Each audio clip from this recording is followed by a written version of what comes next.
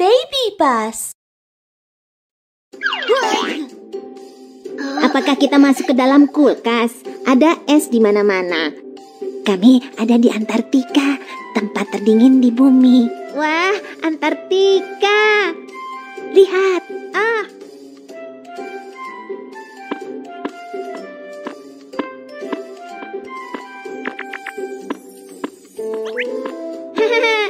Mereka bergoyang ke kiri dan ke kanan saat berjalan. Lucu sekali. Ayo kita cari tahu tentang binatang ini. Dunia itu menakjubkan. Ayo terus belajar. Tablet cerdas. Aktifkan.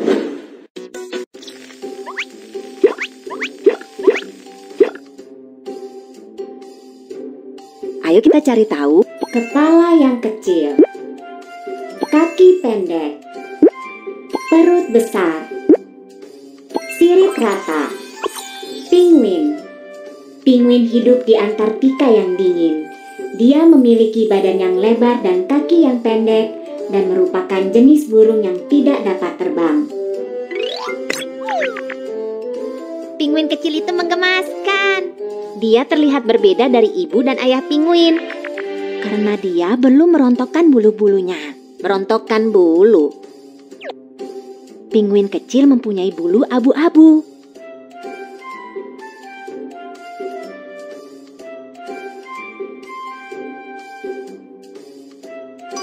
Saat penguin kecil tumbuh besar, dia merontokkan bulu-bulunya untuk menggantinya dengan bulu baru. Bulu baru melindungi penguin dari dingin. Aku tahu, ini hanya seperti memakai mantel tebal agar tetap hangat selama musim dingin. Itu benar, penguin tidak akan merasa dingin jika tidak ada badai salju. Eh, eh, badai salju datang. Apa yang harus kita lakukan? Jangan khawatir, penguin mempunyai solusi. Badai salju datang. Bagaimana caranya penguin menjaga diri mereka tetap hangat? A.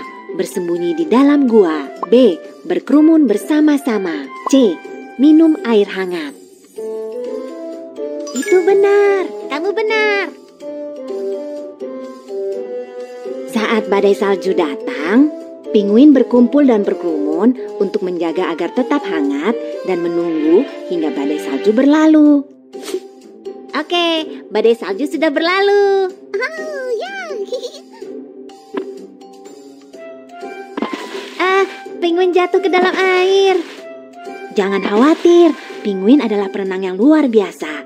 Mereka mencari makanan di laut. Wah, penguin dapat berenang. Ayo kita cari tahu.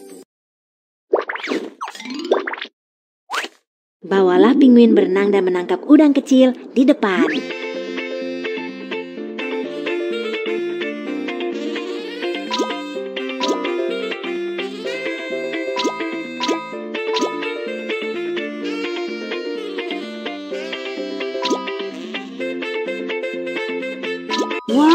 Ada banyak sekali udang kecil dan mari kita tangkap udang kecil itu.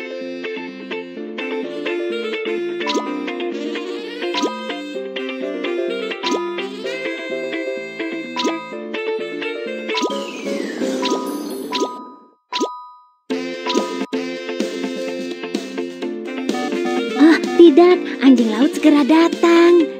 Ajaklah penguin berenang menjauh. Terus bersemangat. Ayo kita tangkap lebih banyak udang kecil. Kerja yang bagus. Kamu telah menangkap begitu banyak udang. Kueki, apa yang telah kamu pelajari tentang penguin? Eh, penguin merontokkan bulu-bulunya untuk mengganti dengan bulu baru saat mereka tumbuh besar. Mereka berkerumun bersama untuk menghadapi badai salju. Penguin melompat ke laut yang dingin untuk menangkap udang kecil. Kamu benar. Medali apa yang harus didapatkan? Medali untuk penguasa panas. Medali untuk tuan penguasa langit. Medali untuk penguasa dingin. Medali untuk penguasa dingin. Penguin memiliki bulu yang tebal, jadi mereka dapat berenang di laut es. Medali untuk penguasa dingin ini diberikan kepada penguin. Berikutnya, ayo kita kerjakan beberapa latihan. Ayo kita coba untuk menemukan penguin. Penguin. Penguin.